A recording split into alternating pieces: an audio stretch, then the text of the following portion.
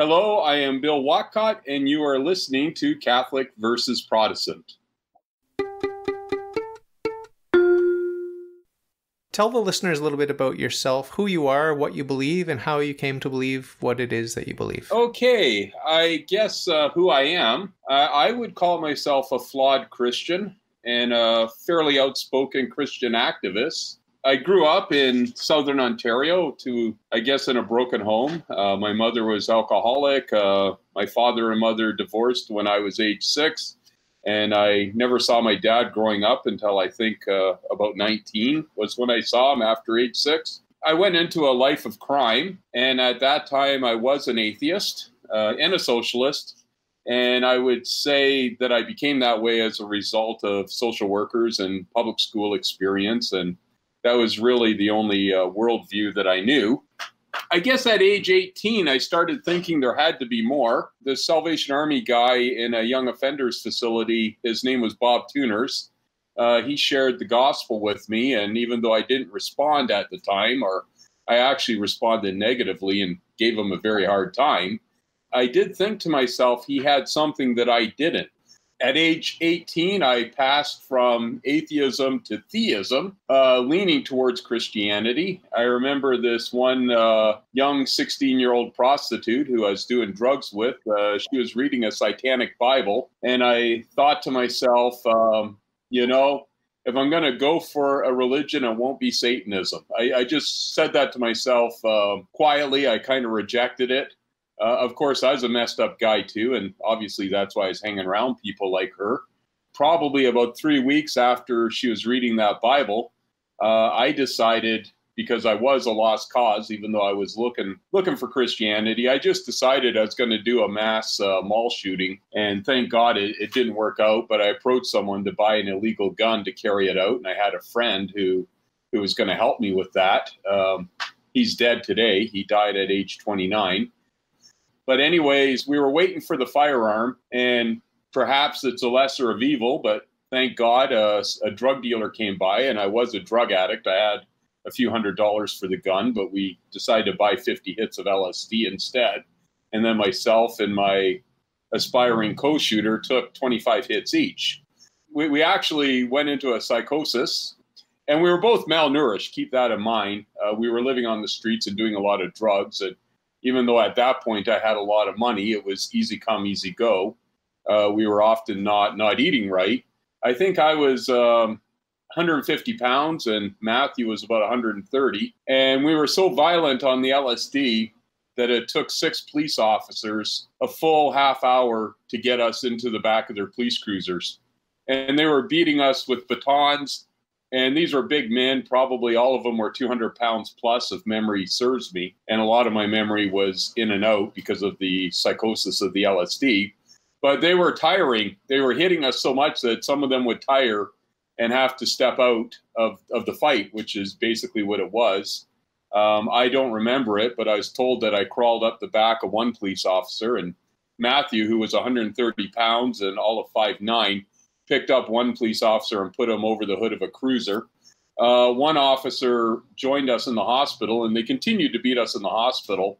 Because I was a street kid and often in the hospital and often in trouble with the law, uh, the emergency knew me by name, and they really didn't want to keep me. So they actually threw me out about six hours later, and I was still hallucinating. I lost my shoes in the park where we are fighting with the police. My t shirt was covered with blood. My eyeballs were dilated.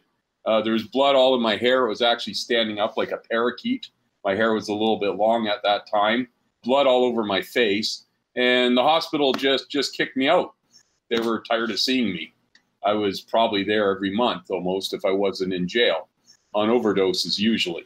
And um, I thought to myself, I'm no good for nothing. And this is in spite of being psychotic on LSD. And I, I blew my mind and I'm never coming back. Uh, that was another thought. Uh, and I said, I might as well just, just kill myself and take it like a man. So, anyways, um, I ran down the street to this bridge in Adelaide. It's, it's called the Adelaide Street Overpass.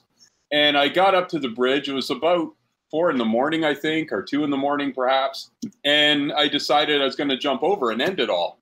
And that was the first time that I really prayed, even though I was I was not a Christian, not a still considered myself an atheist, searching perhaps. And I remember this this profound sense of despair settled over me.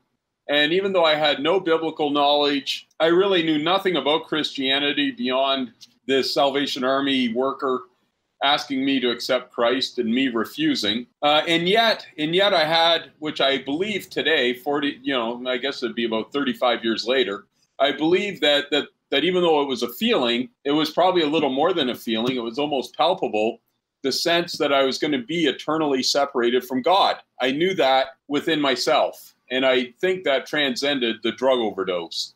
And I just said, God, I wish it didn't have to end this way, but I was so hopeless that I saw no other way out of this.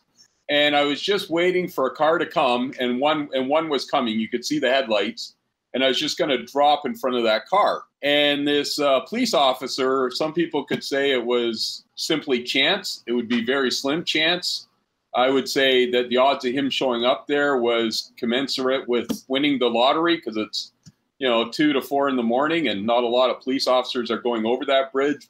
But this this officer just just came by as I was ready to jump and, and I had my leg over and I was just letting the car get a little bit closer to jump in front of it to make sure that I hit the pavement and then had the car run over me to make sure it was permanent. And the officer grabbed me by the scuff of my neck and pulled me back. And then he asked me what I was doing. And, uh, you know, I was still wired out on the LSD. I, I just told him me and Matt did 25 hits. We, we did 25 hits each. I bought 50 hits of LSD. The guy looked at me covered in blood and dilated eyes, and he decided to take me back to the hospital and they kept me on the psychiatric ward for one more day and then kicked me out again. A social worker took me to his house, actually. Uh, this poor social worker, very well meaning guy, uh, definite leftist, uh, had a theory that I'd get better if I quit taking LSD and glue. I was into glue sniffing then, and just just just smoked marijuana with him. Uh, needless to say, the experiment didn't work out, but but he meant well. And when he saw that I was overdosed and in the hospital, and the hospital wanted to send me somewhere, he decided to take me for a few days. Um, he drove me up to Sudbury because he was going to university there, and there was nothing nothing for me up there. I didn't know how to work. I didn't didn't even know how to look for a job in those days. I was 18.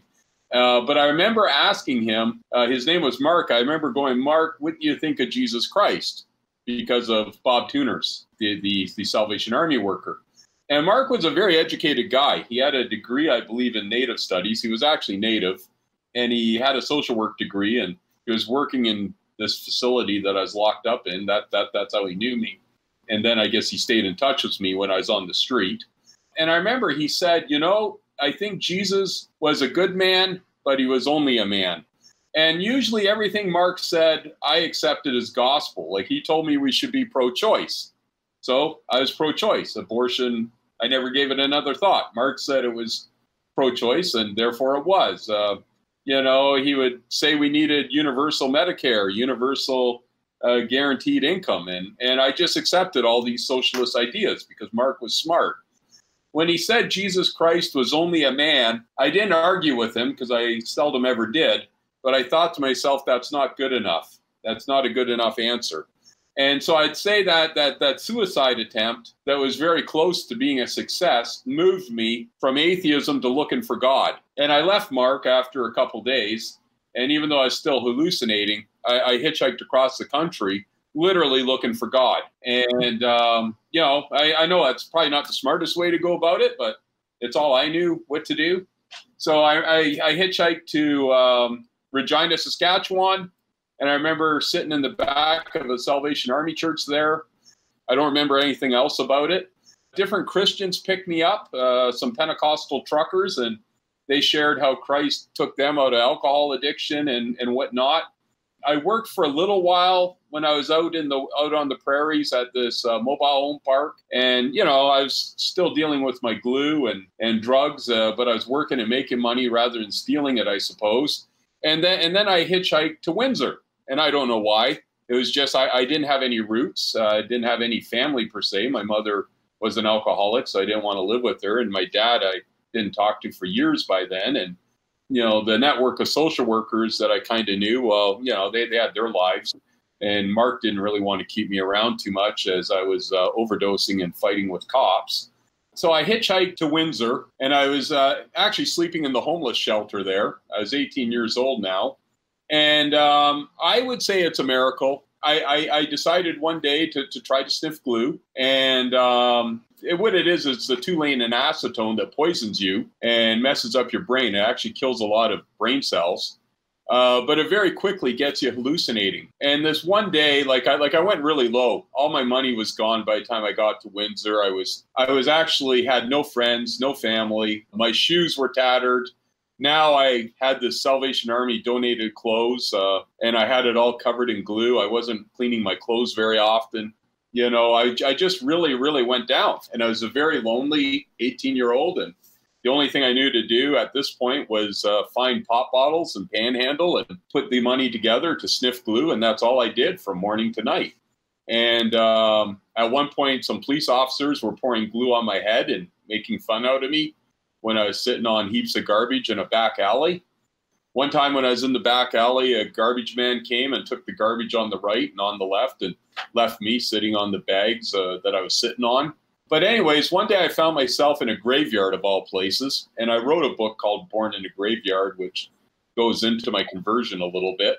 In this graveyard, I was trying to sniff glue, and something, a wall, I would suggest God, but I can't prove it. Just like I can't prove it was the hand of God that saved me on the bridge. I simply believe it was, and the probabilities would lend its way that way, I think. But this one day, I tried to sniff glue and I had 10 tubes, which is enough to keep you intoxicated all day.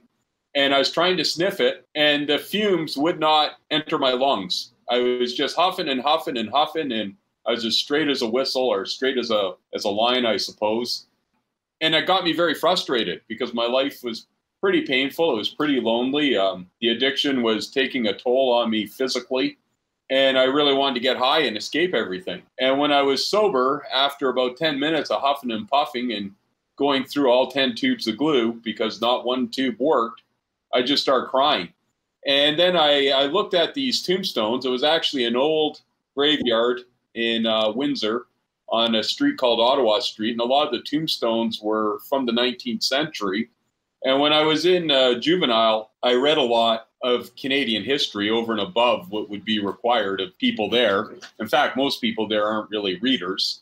Uh, but a few of the social workers knew I was a reader, and they'd bring me stuff to read, and I especially liked history, and and and I knew that that was a more Christian time. I don't, I wouldn't say it was perfect. I'm sure there was lots of sin and licentiousness in the 19th century, but it was a cleaner time and a more God-fearing time than the 1980s, which is what we're talking about, July 1986. That's when I was in that graveyard. And, and then I just said, these were better people than me. Whether that was true or not is irrelevant. Uh, we'll never know. They've been dead for a long time, and I never talked to them. But uh, then I then I then for the first time in my life, because you got to realize when you're in the youth justice system and you're dealing with social workers, one of the mantras for young offenders is you're a victim you know, you got an alcoholic mother, but you're basically a good person. You're only stealing, you're only beating people up because you're you're a victim. There's very little emphasis on taking responsibility and, and fixing yourself. I had a very high expectation in those days that the government should fix me. And I didn't have a great expectation, and I didn't even know how to have an expectation on taking steps to fix myself. And for and and and, and it was like like just just quite the revelation that I was a sinner. I was promiscuous, I was dishonest, I was violent, I was a thief. And as I thought about all my sins, I just started weeping. And, and that day, I asked Christ to come into my heart and to forgive me of my sins. And I walked out of that, that graveyard clean on the inside, which is something that, that never happened uh, ever in my life. And, um, and, and, I, and I bawled for like two hours. It was quite, quite loud and quite profound. I guess being a graveyard, uh, nobody noticed, and perhaps there was not even anyone there. It seems from my memory. But but but when I walked out of that graveyard, I was clean. Now I didn't know what to do, and I wish I could tell you that that it was a clean cut conversion and life was perfect after that. For a couple days, I was going to the homeless shelter, and I felt really close to God, and I was walking and talking with Him. But by about the third or fourth day, the mundane realities of being a homeless kid with no job skills set in. And I went back to what I knew, the glue sniffing. But I couldn't really um, enjoy it the same way. And God, I think, is is a God that doesn't leave us uh, once he once he comes to us. Uh, one day when I was in a Salvation Army drop-in center, I found a little testimony from a place called Teen Challenge, and it was the testimony of mostly adults. They weren't actually teens that that had conversions uh, to Christ and were set free from their drug and alcohol addictions through the work of Teen Challenge. And this track had a little address on the back uh, in, in Hamilton. And I just knew that's where I had to go. So, literally, that day, I grabbed my bag out of the hostel where I was sleeping and hitchhiked to Hamilton.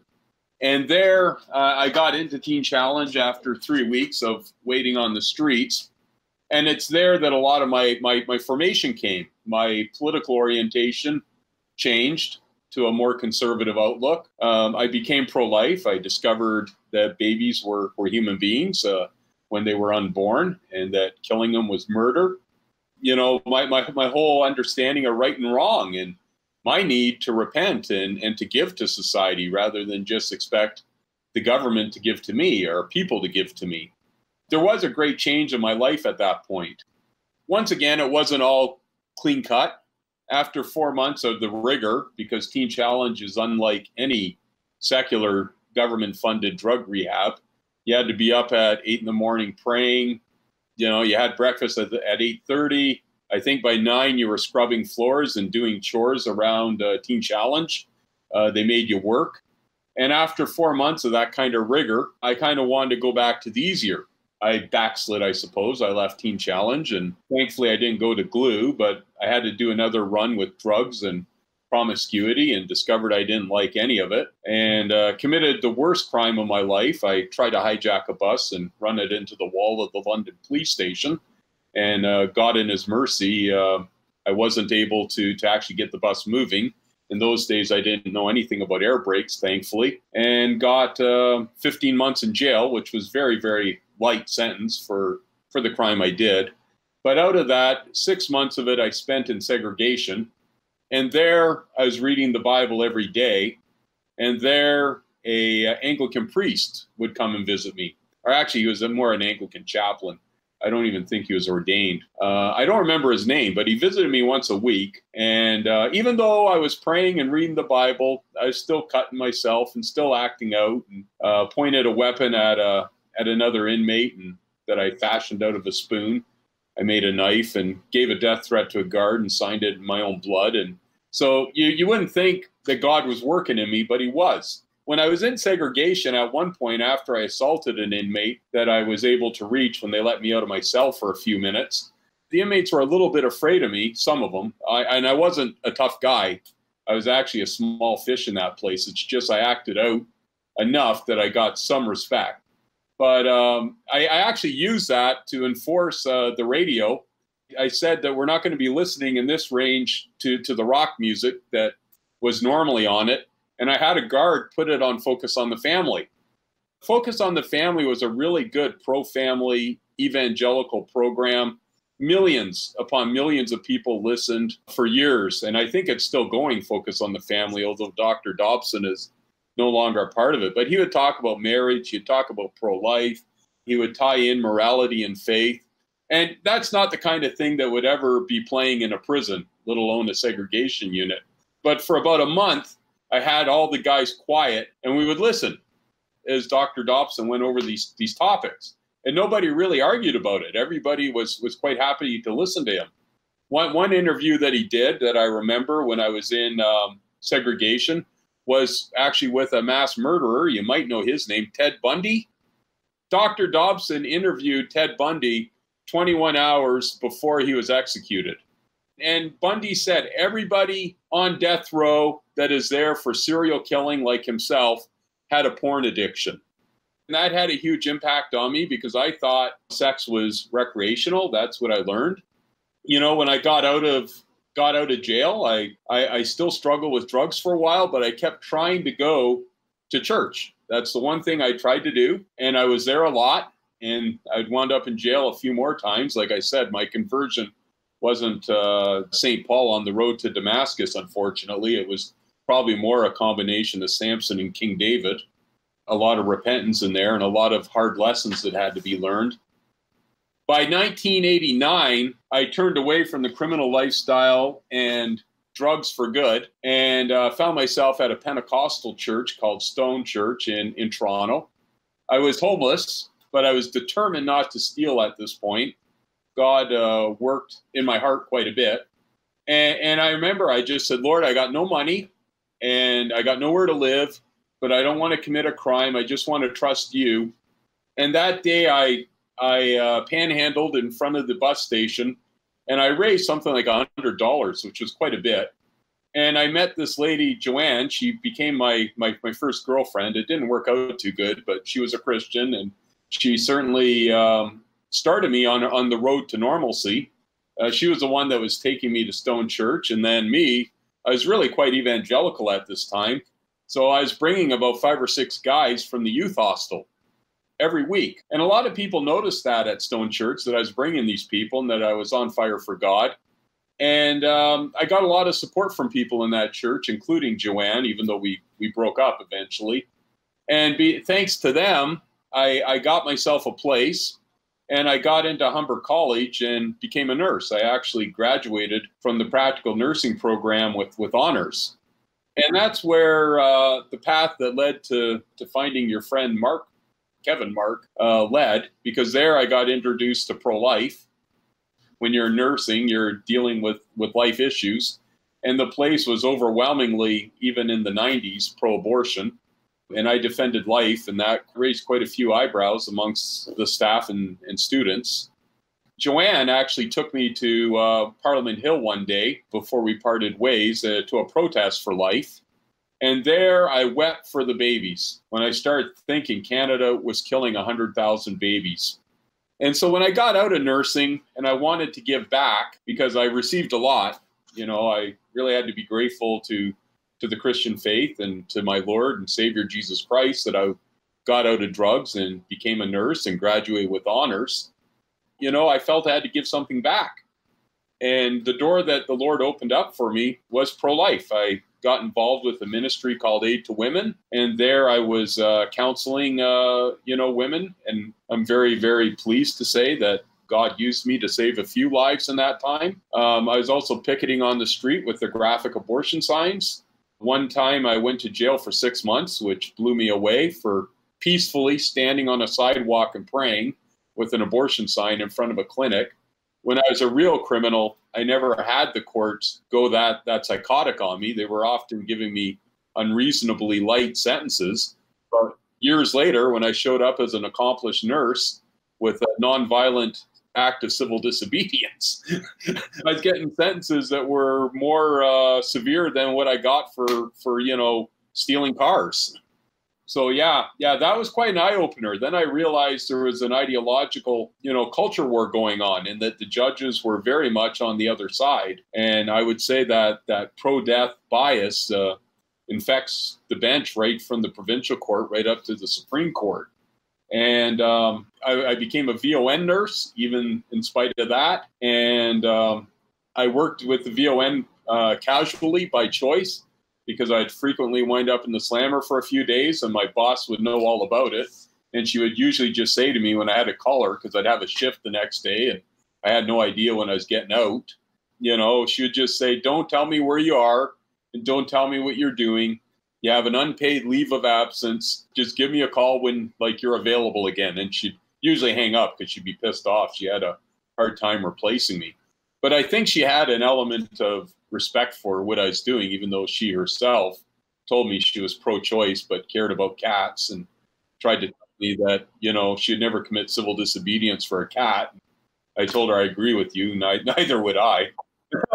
but you know, you know, she did have a measure of respect, and she never she never fired me in the five years that I was there. And I think I wound up in jail for 20 times for anywhere from that six months to one day to 15 days to a week you know, is all over all over the map.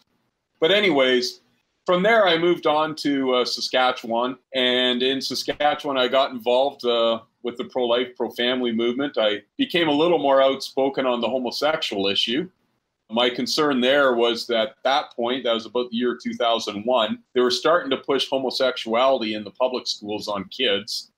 And uh, that became a concern to me, even though I was certainly still involved with pro life. I was showing the, the abortion signs around Saskatchewan and I was getting arrested again. And I ran for mayor of Regina on the promise of zoning uh, Planned Parenthood and the abortion clinic uh, operating at the Regina General Hospital out of city limits. And was going to end the funding to the Gay Pride Parade.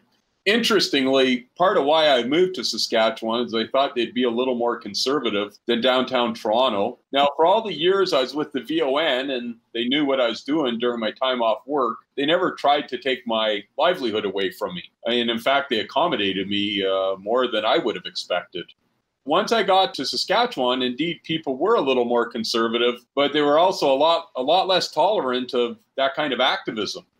And even though I was very careful to never bring my views to work, when I wound up in the newspaper for running for mayor and when I wound up in the paper for uh, picketing the Regina Public Library, when they had this hideous, hideous cinema called Queer City Cinema, where they were actually uh, showing pro pedophile videos to the public, and some of them with graphic sex acts that would constitute a criminal offense. When, when I was picketing these things, all of a sudden I started getting uh, disciplined for this and that, and the disciplines were often unjustified, and and they were coming very frequently. And and in fact, the Regina General Hospital, or sorry, the Regina Wascana Rehab Center is where I was working at that time in Regina. They they actually decided they were going to get me fired and get my license stripped. It took them a few years to finally drive me out. I fought that thing, but it was a horrible time you could often cut the tension on the nurses unit with a knife when I'd walk in. There were some lovely nurses there that, that were actually quietly sympathetic towards me. And one nurse even put her job on the line to testify in my defense that I was not this horrible nurse that, that they were trying to make me out to be. She got fired two years later, and I suspect that was because she spoke out in defense of me actually they, they had an NDP government at the time. And when the NDP is your employer, because the Regina Health District, unlike uh, liberal Toronto, where you had a lot of private healthcare options, in Regina, your only employer as a nurse was the Regina Health District. And the government at that time, your boss, was the NDP. And uh, they worked very hard to get rid of me. And, and eventually, after three years, they did. That was quite a loss of standard of living for me. Uh, that was the first really really good job I had. I, I had to move to Alberta to get a job because I was so notorious with my graphic abortion signs and speaking out against homosexuality. I should mention by now I got dragged before the Saskatchewan Human Rights Tribunal, and I was found guilty of discrimination for saying uh, that it was wrong to push uh, homosexuality in public schools. And I gave a whole list of um, you know diseases that I knew as a nurse homosexuals were prone to. I looked after a lot of homosexual patients when I was working with the VON downtown. I certainly didn't hate them, but I could see it was self evident that the behavior was very destructive. You know, and I certainly was an outspoken young guy. I put in the Bible verses and the biblical word sodomite on my flyers, and I guess the learned judges uh, decided that was hate speech, and I was fined seventeen thousand $500 and ordered to never uh, speak on that topic again. Me being who I was, I broke the uh, human rights order the following day and put out a thousand flyers in, in Saskatoon, even though I was living in Alberta. I actually, the day I got the order, drove to Saskatoon. And that night went from about nine o'clock at night till about eight in the morning and put out a thousand flyers in mailboxes, uh, sodomites in the Saskatchewan Human Rights Commission with a diatribe on how they're attacking truth and liberty and promoting an unhealthy and ungodly lifestyle, and on and on it went. That battle went on to the Supreme Court. I actually won in the Saskatchewan Court of Appeal, and I was really thanking God for that and looked at that as a gift to all of Canada that uh, there would be a degree of religious freedom and free speech on this topic. Unfortunately, when the other side, when the Human Rights Tribunal appealed to the Canadian Supreme Court, they, they took it and then they unanimously uh, ruled against me. And I would argue that Canada that day really lost its free speech. Uh, the bar for, for hate speech is, is very low and very subjective. And if you're going to talk on this topic at all, you really don't know where you're going to be leaving free speech and entering hate speech. And, and that ambiguity is, is really a sad thing. I got into other things. I ran for mayor of uh, Edmonton, certainly put out a lot more flyers on the threat that I perceived to homosexual activism and, uh, and Canada's religious and political liberty. I, I worked my way up from $9 an hour labor jobs, got myself a class one and became a truck driver. Unfortunately, I went through a couple marriages and struggled with a sexual addiction, even as a Christian. And that was a very damaging part of my life, and certainly it caused harm to other people as well. And uh, you know, I never, I never went the way I was as an atheist, but that that part of my life has been far from perfect. Eventually, I went, moved on to, to BC. There, I made a plan to infiltrate the homosexual pride parade, and I guess that's how Kevin Mark came to know me. And uh, I infiltrated one parade in Vancouver as the Calgary Church of the Flying Spaghetti Monster. I should uh, note that I applied to march as a openly Christian man and was not accepted. But once I applied as a gay high priest of this fictitious cult, I was embraced and I put out um, 2,500 gospel condoms in the parade. Now, even though I'm evangelical, I believe contraception is a sin. Very much I'm with the Catholics on that one. My condoms did not have latex in them. They look like condoms. I put an $8 price tag on them so that way nobody would throw them out. I gave them out for free. And it said Pure Pleasure $8. That was my brand. And I got these into the hands of 2,500 homosexuals in the Pride Parade. I had pink hair and a fairy cape and short shorts as I was handing these things out. You can see the pictures, they're still on the internet afterwards. Uh, the police started looking for me because some of the homos were opening up their uh, pure pleasure condoms on the parade route. And then when they got them, uh, they were getting the testimony of a man who left the homosexual lifestyle and uh, 30 years later is still married to the same woman and has nine kids, living proof that Christ can change sexual behavior. I had all the diseases, all the relevant Bible verses in the gospel that God loves you, and if you turn to Him, you can be saved. And uh, this this started freaking people out. So while I was dancing on the uh, parade route, police were, were looking for me, and I was actually photo opping with them, and I was also photo opping with one of the NDP politicians, uh, Herbert Chandler Spensra. Him and the cop are still on the front page of my website on the Vancouver uh, Pride Parade stunt, and uh, there, there's me with the pink hair. The reason why I pulled that off was because St. Paul said, Be all things to all people that you can save some. Well, they were just not accepting open Christians on the parade route. But as a gay high priest of the Calgary Church of the Flying Spaghetti Monster, they accepted me and my activists and they received their pure pleasure packages. And when they opened them, they got the gospel. So that was such a success that a couple years later, I applied in the uh, Toronto Pride Parade. Uh, first, I applied as a openly Christian man, and the Toronto Pride Parade said I'm not welcome in the 2016 parade and nor would I be welcome in any subsequent parade after that. They knew my name, they knew my Supreme Court case and all that. So once again, I was forced to become a, a closet case. I went into the closet and hid my Christianity. And then I applied as the Gay Zombie uh, Cannabis Consumers Association. And needless to say, the Pride Parade welcomed me with open arms. So I got uh, six Christians, all to dress up in zombie outfits. I have one. I had one too. I had zombie uh, green outfit, and then I was wearing a rainbow tutu, and I had little gay pride earrings sticking out the side of my zombie costume. And then I made a new condom package. It was called Zombie Safe Sex Five Dollars. Now, once again, as a Christian who does not believe in condoms, and as a nurse, as a nurse, I saw I saw firsthand in my own clinical practice the the effects of condom failure. I saw it. I saw the, the herpes. I saw other STDs from people that were educated to the hilt on condoms. I remember one time when I was working on the street, this one prostitute came in. I refused to hand out the condoms. And there was a social worker there who was handing them out in my stead. And this one prostitute said, One of my condoms broke. Like, what happens if that guy had HIV? You know, she was done. So I know that latex was madness, but my zombie safe sex package had the gospel in it again. And so I got out 3,000 of those on the Toronto Parade route.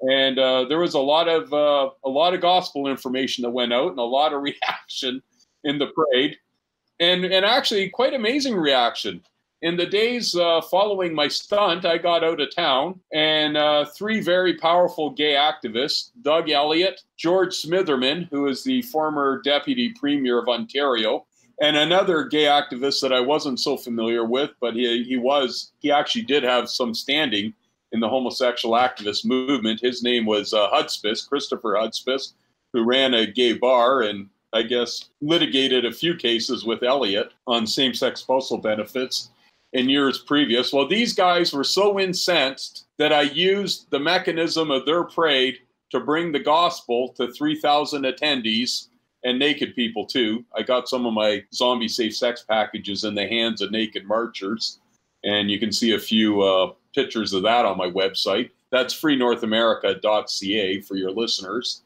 They actually went to Parliament Hill. Now, keep in mind, my operating budget was like a couple thousand dollars we made all these zombie safe sex packages in various kitchens. My, my stunt was a low budget stunt. Nobody died. Nobody got punched out. Uh, the parade went on. There was people marching in the parade with pictures of our Lord on their crotch. Others were naked with dog collars. All their debauchery was was there, funded by you and me with tax dollars. And yet they were so incensed that I brought the gospel to their parade that they went to Parliament Hill and announced a $104 million lawsuit against me. And indeed, they tried to enforce it. That was one of the, the legal battles of my life. God miraculously, because I'm a pretty low budget guy since I lost my, my nursing career, I've never had a steady income since. And doing this activism does not get you rich. Um, it certainly got me heavenly rewards and lawsuits and jail time but yeah, yeah, they, they launched this this hundred and four million dollar class action lawsuit, and they actually had Justin Trudeau and Kathleen Wynne, your former lesbian premier of Ontario. They were actually named as complainants in this lawsuit.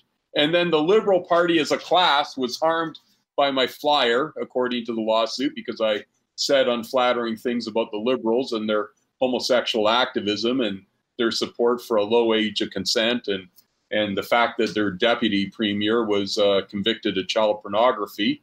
That was Benjamin Levin. He did three years in jail for it, and his paw prints are all over Ontario's current sex ed curriculum to this day. Then also the marchers were were a harmed class, so they couldn't really find any victims to talk about how their life fell apart. But they were named as a class anyways because of my my stunt. And then I guess all the the spectators. So none of these people even necessarily consented to this lawsuit, but they were all named as a class that was harmed by me. Uh, ostensibly, there's a quarter of a million people in this parade, and I managed on reaching 3,000, which might be a little over 1%. But they, they tried to sue me. For two years, this, this lawsuit went nowhere. They tried to force me on pain of going to jail to reveal the name of my friends who helped me out. Uh, to this day, the lawsuit is still going. And to this day, I'm refusing to reveal the identity of my friends because they, they just want to take their RSPs and homes and make an example of them. And you're talking moms with kids, you're talking Christian uh, senior citizens, people who volunteered for maybe one hour. Elliot said on Parliament Hill anyone who gave Bill Whatcott so much as a cup of water will be on the hook for a $100 million lawsuit that's what he announced. Uh, but anyways, he hasn't found anyone, and he sure spent a lot of money trying. When the lawsuit was failing, and the and the Ontario Liberal government was in its final days, two years after my zombie gospel stunt, they were still so bitter that they actually put a Canada-wide arrest warrant out for me. Now, at this time, I was up in Fort McMurray. I long forgot about my zombie stunt um, well, you know, I'd think about it and think, well, that was a nice thing I did. I got a lot of gospel out to homosexuals and sure pulled one over on them. Because keep in mind, homosexuals infiltrate our church, they infiltrate Christian ministries and sow chaos on purpose. Uh, you know, you know, it's it's it's it's a rough and tumble world in the activist world, and in my experience, gay activists are often far less charitable than Christian ones, and they're usually more successful. So it's kind of nice that I pulled one on them, and and I gave them information they needed. I gave them health risk of their behavior. I gave them the stats on their social maladaptation. I warned them that there is an eternal hell for those who will reject Christ and continue to pursue their sexual rebellion. And then I gave them the gospel that they can come to Christ and provided them testimonies of people who left the gay and transgender lifestyle and reclaimed their God given sexuality, in some cases, being married and having children. Uh, but anyways, that was all so bad that they finally put out a Canada-wide arrest warrant, and now uh, I'm on my way to court in January 6th, so I can certainly use prayers from your listeners charged with a, with a hate crime, and the Crown uh, prosecutor is looking for 18 months in jail.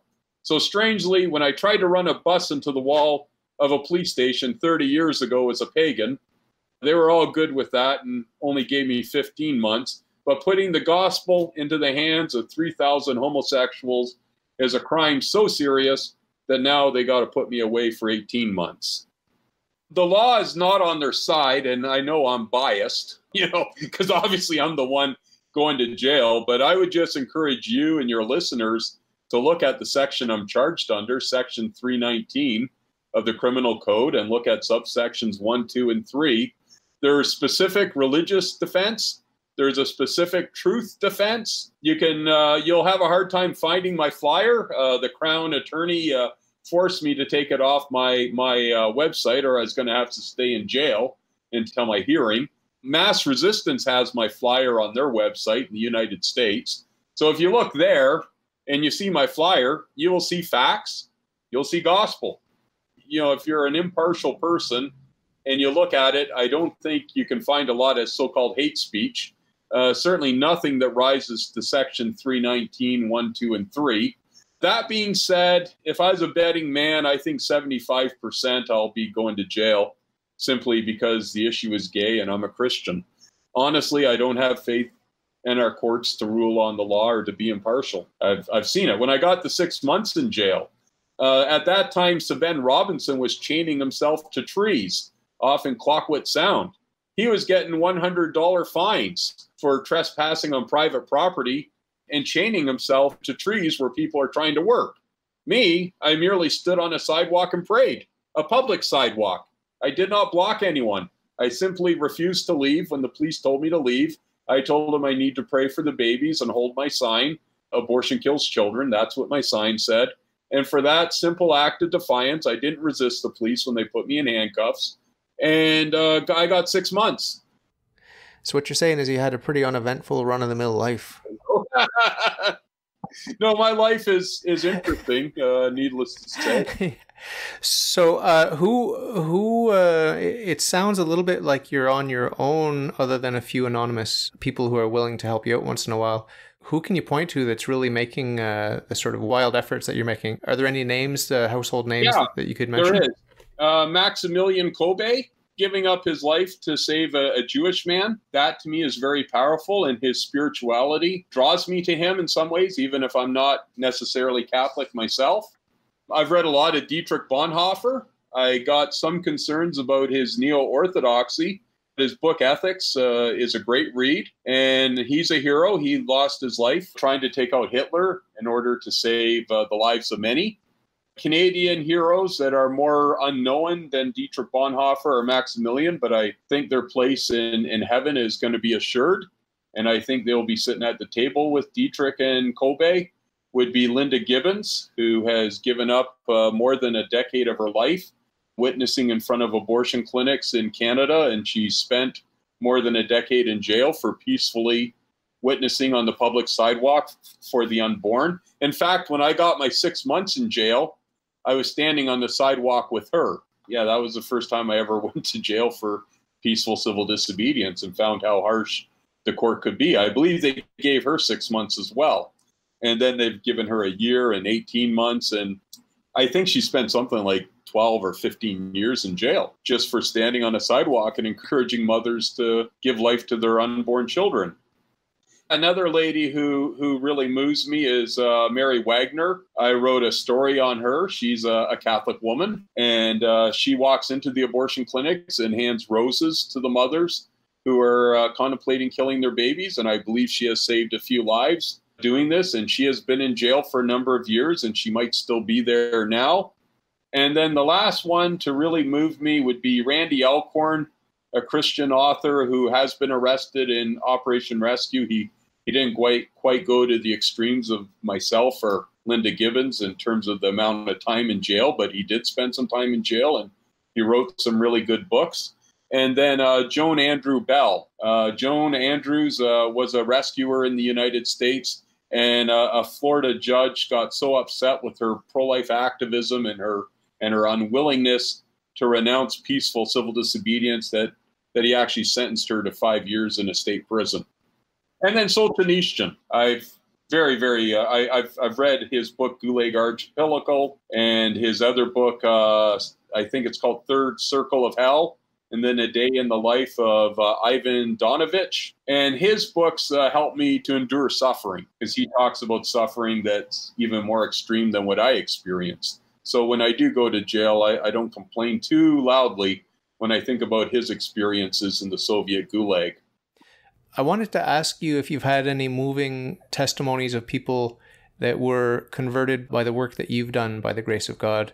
Has anyone come forward and said, Look, I, I was really lost, but now I'm found, and uh, you were instrumental in that change? Have people come forward with those stories? Um, there was a, a lady who was Seventh day Adventist. She was a black lady and a very proud lady.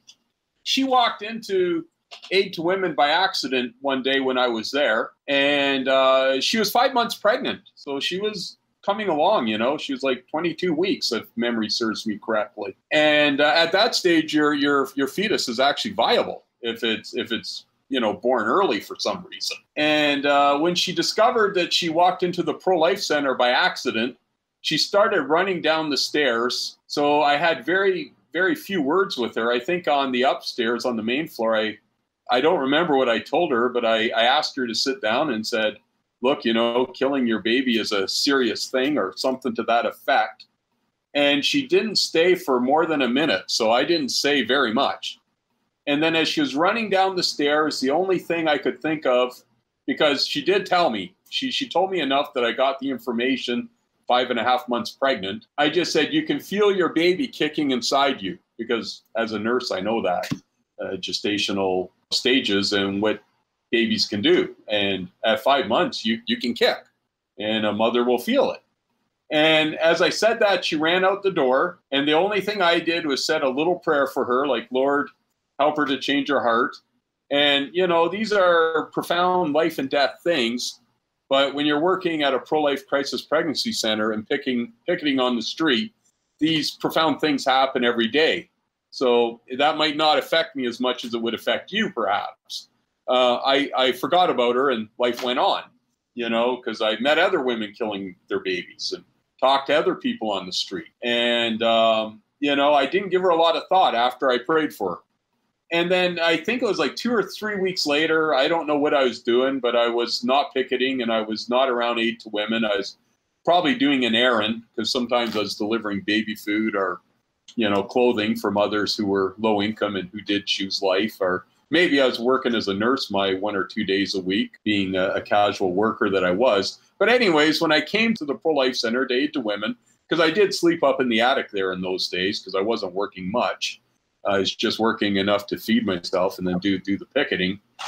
Anyway, she was there, and like I said, she's a very proud woman, so she kind of stuck her nose up and didn't want to be too friendly to me.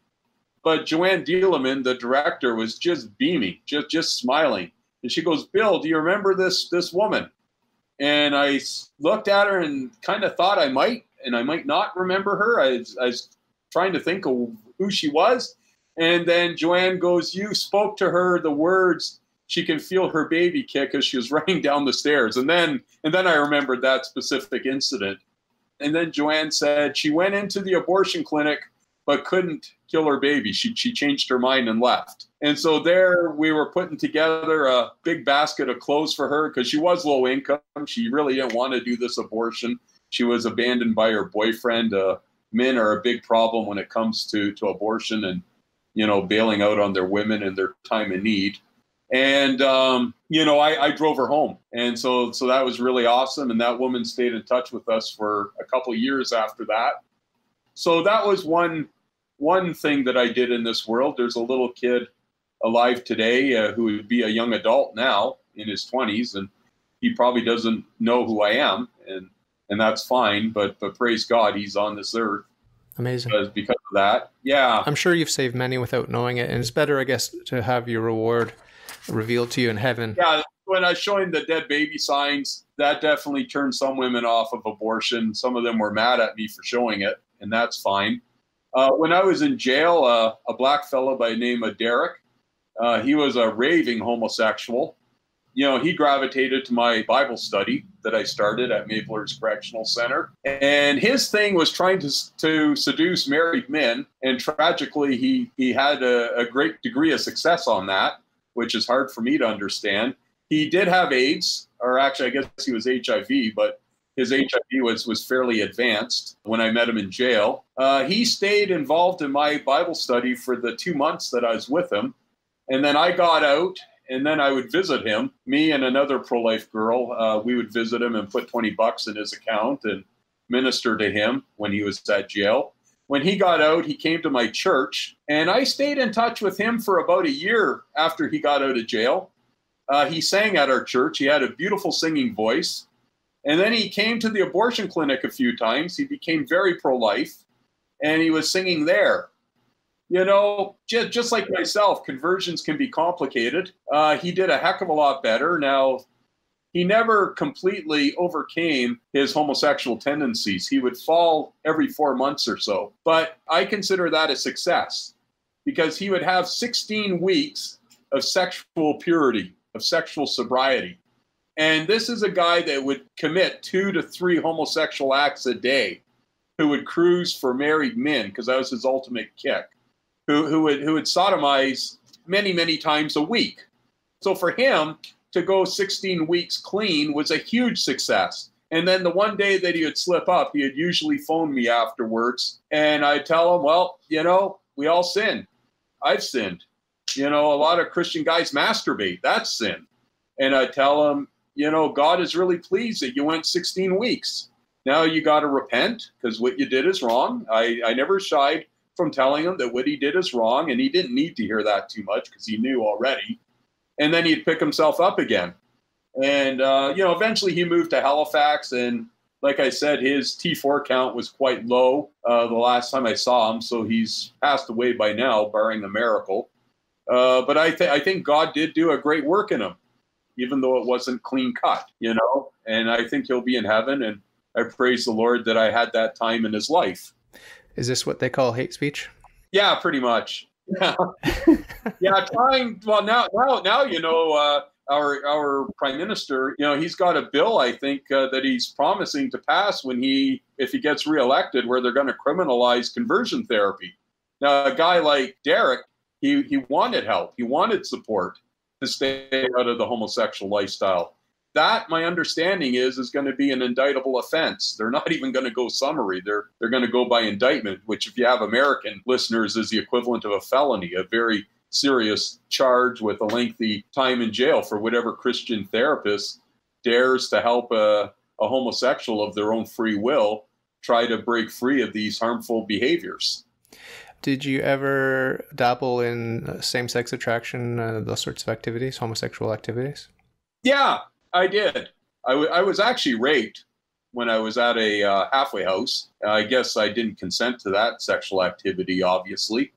And then uh, when I was 18, I, I willingly uh, engaged in homosexual activity for cocaine. When I was in prison doing that six months in segregation, there was about a month there where I declared myself gay. Uh, because I was in uh, segregation, I couldn't do anything about it. But I, I, I, asked the cell partner next to me if I could sodomize him if I ever get a chance, and the guy said yes. Uh, prison is pretty debauched. And then after a month uh, being gay and liberated, just just kind of faded off. And the truth is, is my sexual preference for the entirety of my life has has been heterosexual. But you know, when you're when you're in immoral situations and you don't have God in your life, your sexual behavior can become malleable. Yeah. And, and mine certainly did. I have a, a, sort of unusual take on sexuality, which is that there's sex, which is wholesome and Christian and good, and then everything else is a perversion that's imitating sex in one way or another. And I class all of that as masturbation. Like you can masturbate into your wife's vagina, you can masturbate into your boyfriend's rectum, you can masturbate the old fashioned way uh, with the girly magazine, you can masturbate. Uh, in group sex, you can masturbate uh, all kinds of ways. They're just different kinds of perversion, different extremes, of course. But uh, I just see everyone on a sort of spectrum of perversion. And my goal as a Christian is to not be perverted at all, you know, to have zero perversion. Now, that's hard to achieve because we are in a fallen world and I'm a fallen sinner.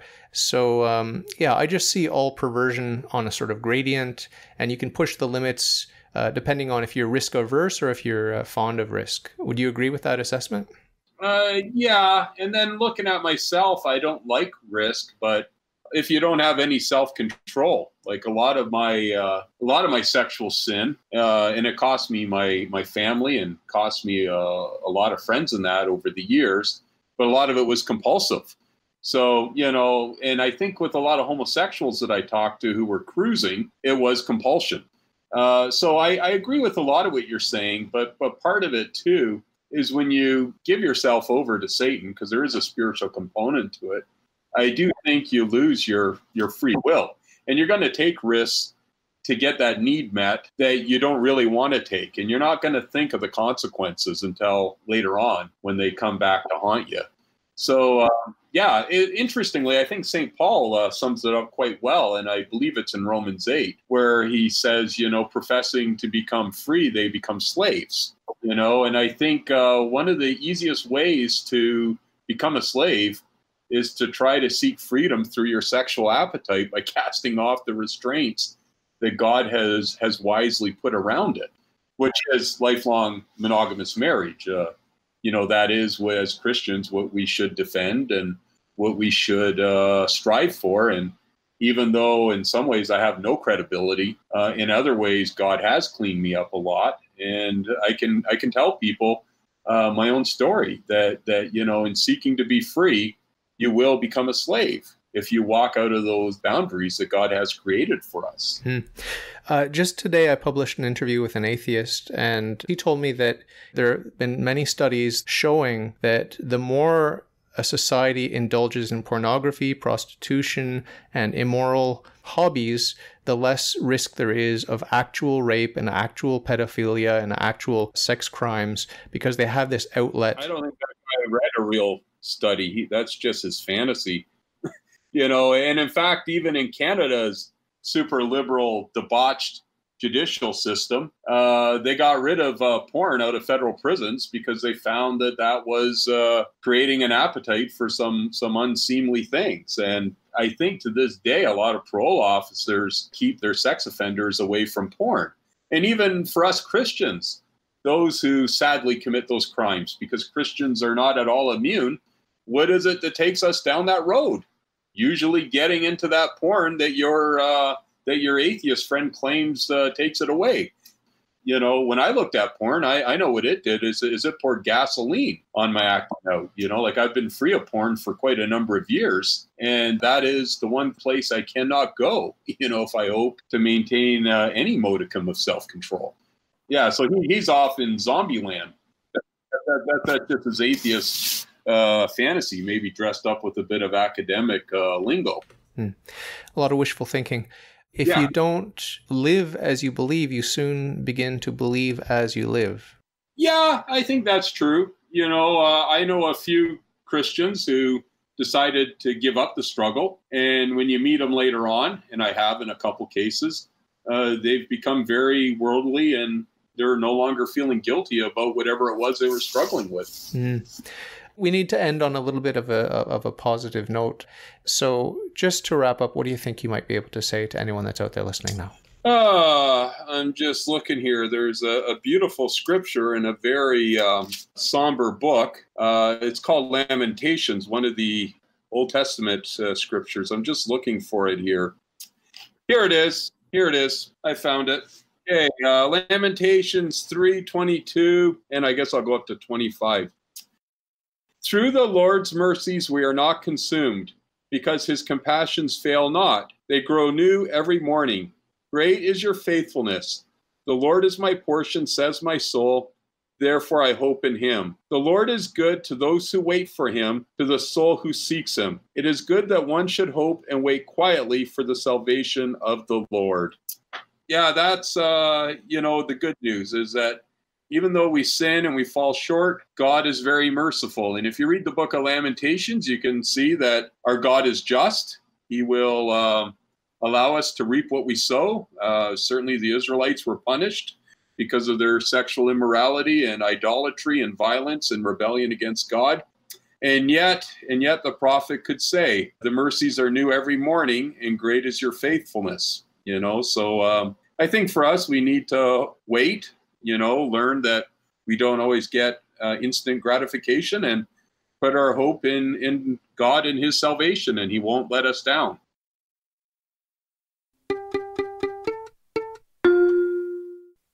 If you like your worldview, if you think it's swell, if you got some questions, ask me and I'll tell. All you got to do is ask. All you got to do is ask.